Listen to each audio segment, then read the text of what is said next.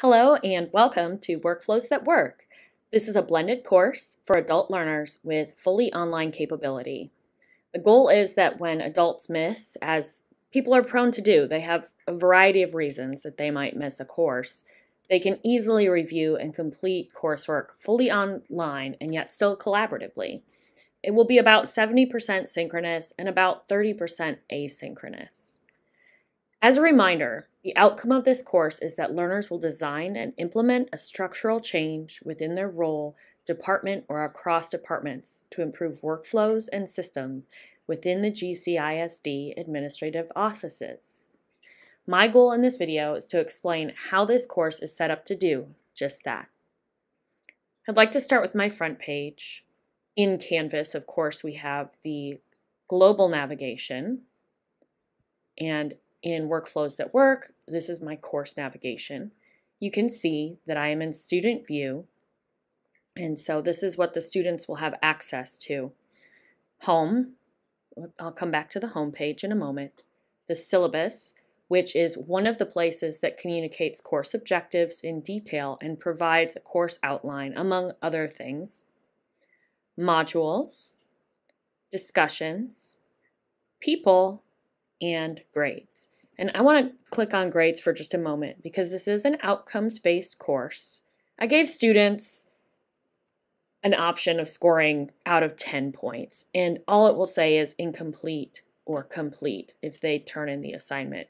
Because the goal isn't for them just to complete assignments mindlessly, the goal is for them to implement change within the district. So I really don't want them to focus on grades at all.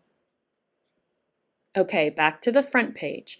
I like to have a front page that has a brief description and a nice course image in a banner format and also buttons. So, of course, students can access the buttons from the module sections, but I always find that this is almost like a bookmark page.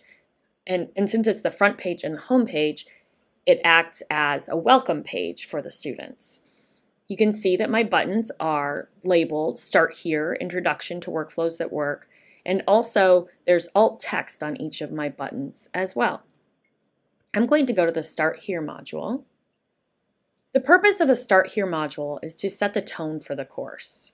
The tone that I intend to set is one of professional learning, unlike anything that they've ever seen. Learners will drive their own learning and be active in their growth. My Start Here module includes a course overview. This talks about the why and the how of the course, and it outlines the dates and what the outcome is. It also includes contact information, and learners can set up coaching support with me. And finally, it includes the water cooler, which is where learners can post questions and give feedback to peers and answer questions and have a general discussion about this course. Next, I'd like to talk about each of the modules. Each module, and there are one, two, three, four, five, each of these five modules represents one blended meeting. So there will be a face to face component at least five times throughout this course. The goal of the first two modules is to set the stage for learners to create their own implementation plans. This includes Module 1, which has the topics Growth Mindset and Workflow Analysis, and Module 2, which has the topics Design Thinking and Troubleshooting.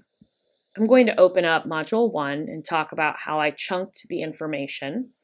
These modules are chunked by topic, so the first half of the day will be spent talking about and learning about the growth mindset.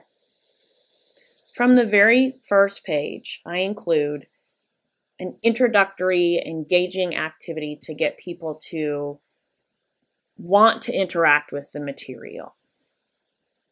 And then they reflect on what they are learning, watching, and reviewing.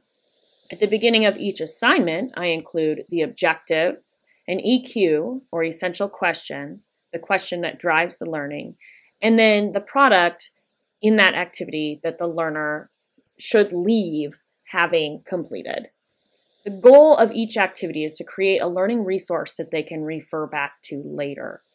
So you can see in this activity that they have a playlist and then they'll capture their learning using one of these templates. And if they wanted to use something different, a different way to capture their learning, I would be okay with that as well. These are just options for people to capture their learning. When you click on the template, it opens up and asks to make a copy, and all of these templates are in Google, so people can collaborate with one another very easily with the Google Workspace. So here is the example for the Frayer model template for growth mindset and for fixed mindset.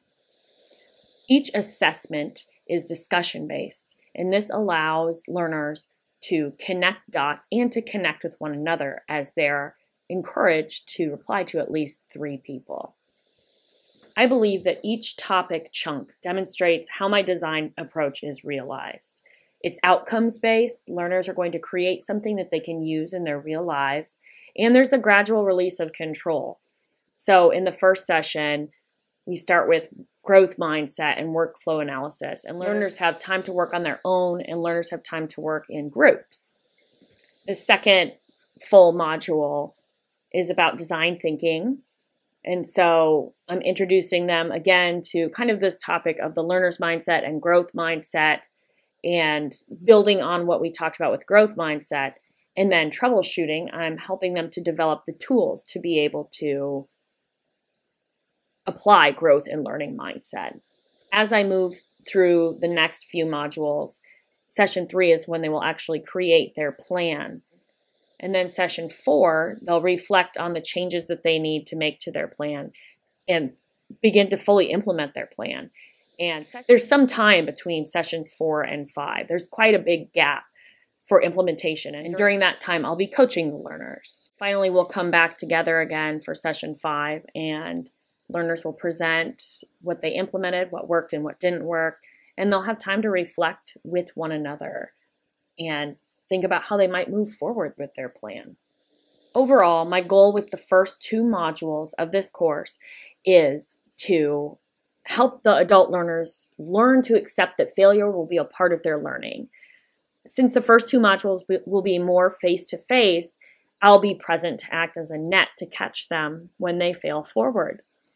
Regarding infrastructure and system support issues, first of all, I work for the technology department and we are right next door to the admin building, and we already have a great relationship with the people on central admin. Second, there's a variety of meeting rooms for the face to face portions. And I'll also be building troubleshooting skills through the coursework. And then finally, my goal is to have the learners use Google Chat and the course discussion boards for conversations that I foresee continuing beyond this course. I hope you enjoyed the first two modules and the Start Here module of my course, and I can't wait to get your feedback. Thank you.